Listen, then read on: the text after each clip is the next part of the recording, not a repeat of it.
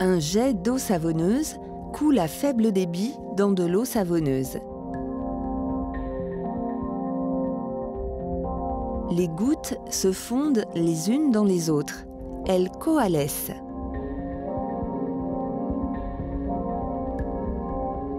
Les molécules de savon possèdent des charges électriques. Ces charges éloignent la goutte de la surface du liquide du récipient. Une lame d'air les sépare, ralentissant la coalescence de la grosse goutte avec le liquide.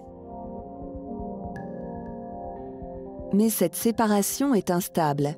La coalescence finit par l'emporter.